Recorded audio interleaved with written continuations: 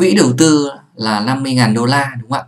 Tôi giả định cái mệnh giá của chứng chỉ quỹ sẽ là 10 đô la trên một chứng chỉ quỹ. Thế thì cái quỹ đầu tư này nó sẽ có 5.000 đơn vị chứng chỉ quỹ.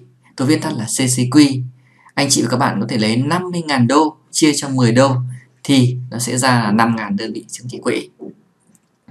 Vậy thì các nhà đầu tư sẽ sở hữu lần lượt số lượng chứng chỉ quỹ là như thế nào?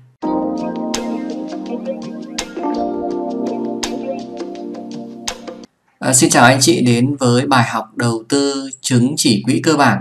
À, trong cái bài học trước thì anh chị cũng đã nắm được à, lý do mà hình thành thêm một cái quỹ đầu tư. Thế thì trong cái bài học này thì tôi sẽ chia sẻ với các anh chị về cái chứng chỉ quỹ đầu tư. À, chúng ta cùng ôn lại một chút cái, cái cái kiến thức trước. Thì quỹ đầu tư là gì? À, quỹ đầu tư là à, gồm nhiều người góp tiền vào một cái tài khoản đầu tư để thực hiện đầu tư và tài khoản đầu tư này à, được quản lý bởi một công ty, gồm có nhiều chuyên gia, hàng đầu để đầu tư, gọi là công ty quản lý quỹ.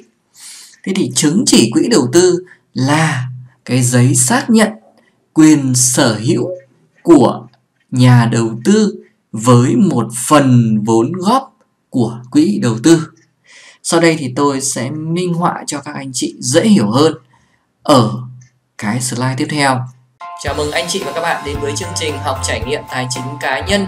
Chương trình được phát sóng vào 20 giờ tối thứ ba hàng tuần trên kênh YouTube Tiền của tôi Official. Để tìm kiếm các cái bài học mới nhất, anh chị vào YouTube và gõ từ khóa Tiền của tôi sẽ có rất nhiều các cái bài học mới nhất để anh chị tham khảo.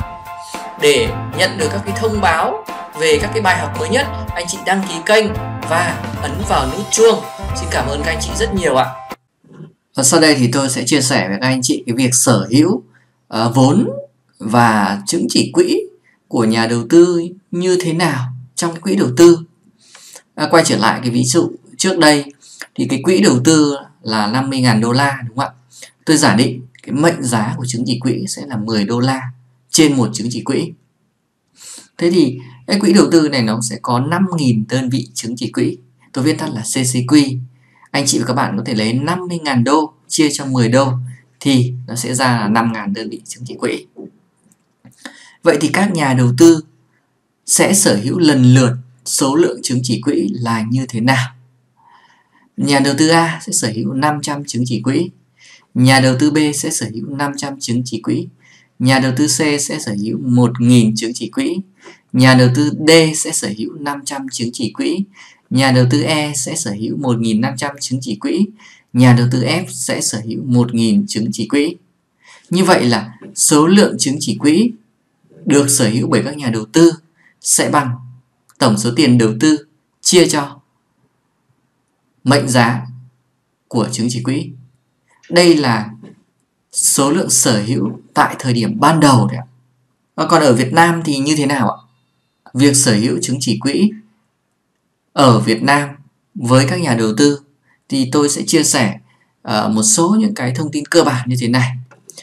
Uh, anh chị cần phải nắm được cái mệnh giá của chứng chỉ quỹ là 10.000 đồng. Và cái giá chứng chỉ quỹ này đó nó sẽ bằng NAV chia cho cái số đơn vị chứng chỉ quỹ đúng không ạ? Và cái ờ, uh, NAV này được gọi là giá trị tài sản dòng thì nó bằng tổng giá trị tài sản trừ đi cái tổng nợ phải trả. Và à, khi mà anh chị mua chứng chỉ quỹ thì anh chị cần phải mua như thế nào? Thì uh, chúng ta sẽ mua qua đại lý phân phối như ngân hàng hay công ty chứng khoán hoặc là chúng ta có thể mua trực tiếp tại quỹ đầu tư. À, một số những cái thông tin cơ bản như thế này để anh chị và các bạn có thể nắm được.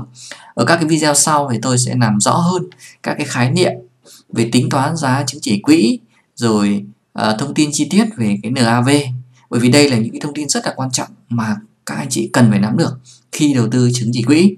À, xin cảm ơn tất cả các anh chị và các bạn đã theo dõi cái video này.